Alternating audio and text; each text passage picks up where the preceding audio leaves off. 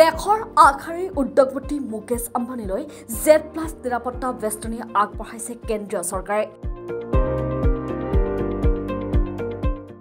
উদ্যোগপতিগৰাকীৰ জীৱনলৈ অহা বৰ্ধিত ভাবুকিৰ পৰিপ্ৰেক্ষিতত তেওঁৰ নিৰাপত্তা বৃদ্ধিৰ সিদ্ধান্ত গ্ৰহণ কৰে কেন্দ্ৰীয় গৃহ মন্ত্ৰালয়ে। কেন্দ্ৰৰ এই সিদ্ধান্তৰ পিছত এন এছ চি কামাণ্ডোকে ধৰি পঁচপন্নজন বিষয়া কামাণ্ডোৱে দিনে নিশাই পহৰা দিব ৰিলায়েন্স ইণ্ডাষ্ট্ৰিজ অধ্যক্ষ তথা পৰিচালন সঞ্চালকগৰাকীক। পূৰ্বে জেট ষ্টৰৰ নিৰাপত্তা লাভ কৰা আধুনিক জেট প্লাছ নিৰাপত্তা বেষ্টনী দিয়াটো প্ৰমাণ কৰিছে। তেওঁৰ জীৱনলৈ পুনৰ আহিছে ভাবুকি।